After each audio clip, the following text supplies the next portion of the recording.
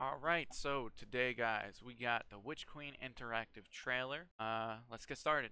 Guardian, to defeat your enemy, first you must know them. The rise of Savathun is a tale of deceit, of power corrupted, and the truth bent to serve various ends. In this interactive trailer, you'll learn everything the Vanguard knows about history of Savathun and her rise to power. Be sure to click on the notes that appear throughout the video for additional crucial intel. As you prepare take up arms against the Witch Queen and her Lucent brood, remember even the smallest insight into your foe could be the key to taking back the light. Alright, so I'm gonna play the video and then go through the notes.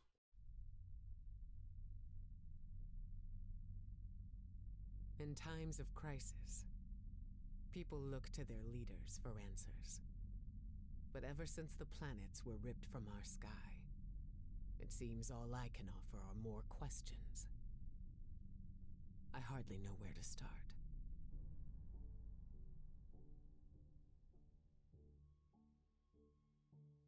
Savathun, the Witch Queen, Hive god of cunning and lies. Hive legend tells us she was born on a hostile, far off planet, where she would have lived a short, uneventful life if it weren't for the worm familiar that warned of an impending cataclysm. And so, she led her siblings into the depths, where the ancient worm gods offered them immeasurable power in exchange for endless blood tribute. From this, the Hive were born, and countless civilizations were condemned to extinction.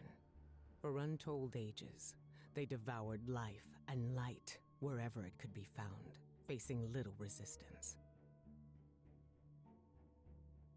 After the death of her brother Oryx, Savathun went into hiding. Not out of fear, of course, but out of strategy. Because Savathun knows the best way to beat your enemy is to join them.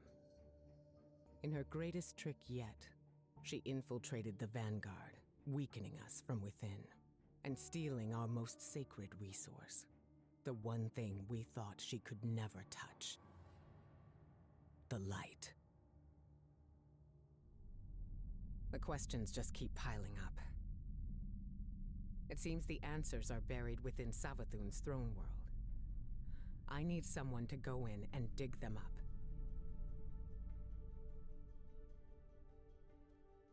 Savathun's throne world is a nexus of power. I'd be shocked if her brood didn't exploit that as often as possible. If my instincts are correct, this ability could be just what we need to solve this case. Remember, Guardian, Savathun's strategy rests on knowing more than anyone else. On her ability to twist lies and cast confusion. But now, we can turn the tables on her.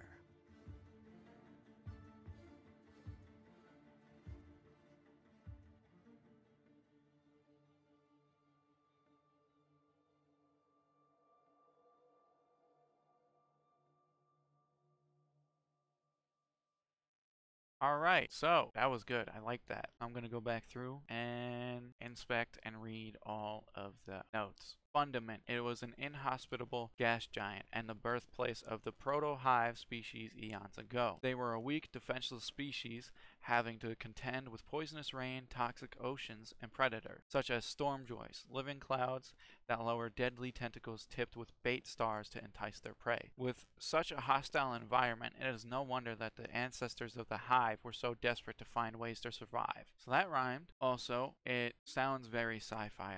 I, I, I really do like this it's it's nice. So, next up, we got Worm Gods. Diving into the depths of the fundament, the Proto Hive made a terrible covenant with Worm Gods Akka, Eir, Yul, Ur, and Zal. Each member of the Hive lives in symbiosis with a worm larva, which grants them darkness based powers in exchange for being fed, quote unquote, fed, with a constant supply of violence and destruction. But in this pact lies the Hive's greatest weakness, for as the worm feeds, it grows in power and hunger. And if a hive fails to satisfy its worm, the hungry parasite will devour its own host instead.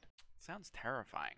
The wilderness years. During her years in hiding, Savathun found even more devious ways to destroy her enemies to, and amass power. She gained strength through a curse on the Woken stronghold, the Dreaming City, where a time-looping battle feeds her endless tribute. On the moon, she convinced the granddaughters of Oryx to build and defend the Scarlet Keep fortress, knowing it would lure the Guardians, who would then destroy what remained of her brother's bloodline. The Taken King, Oryx, the Taken King, was a brother to the Witch Queen, Savathun. After killing the worm god Akka, Oryx learned the power to take, an ability that allowed him to bend the other beings to his will. After the death of his son Crota, Oryx came to Sol to seek vengeance on the Guardians, but they defeated him within the Ascendant Plane, thereby destroying him and ending his reign forever. Ooh, what is this?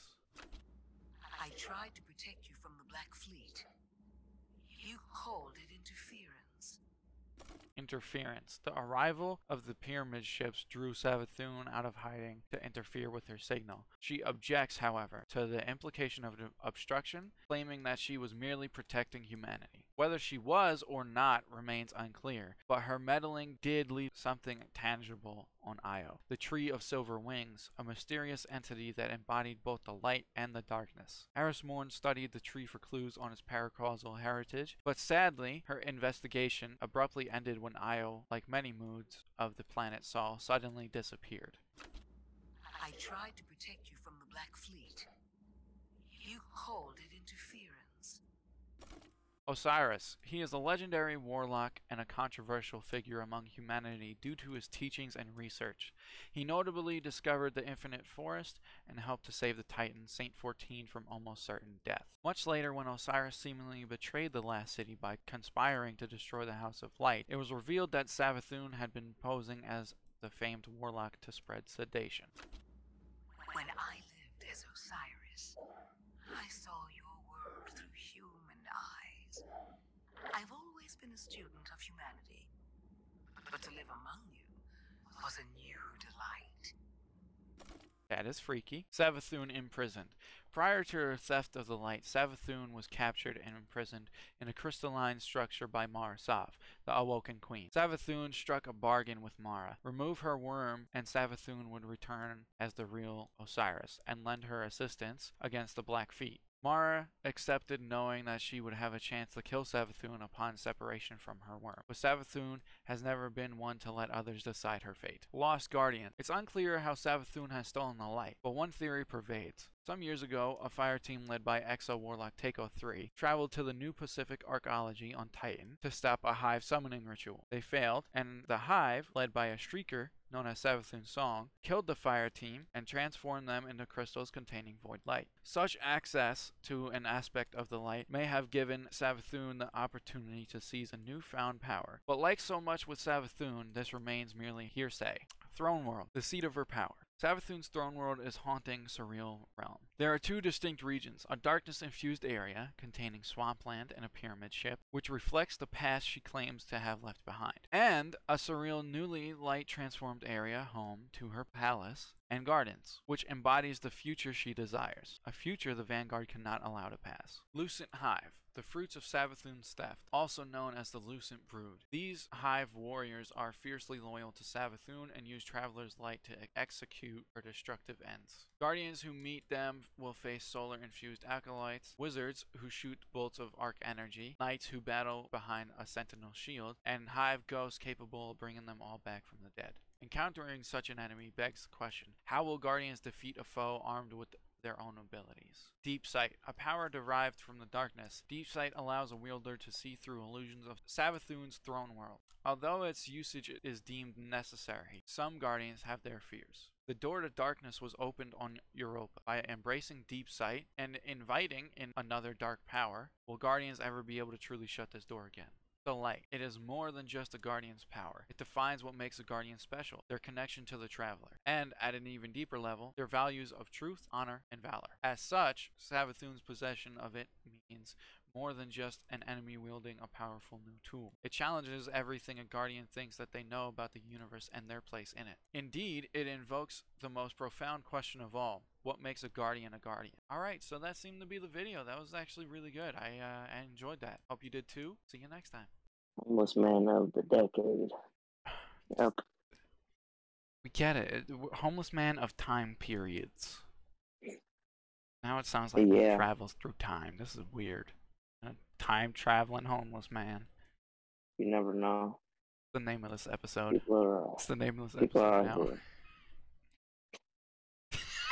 time, time traveling homeless man. I met a time traveler, but he was homeless.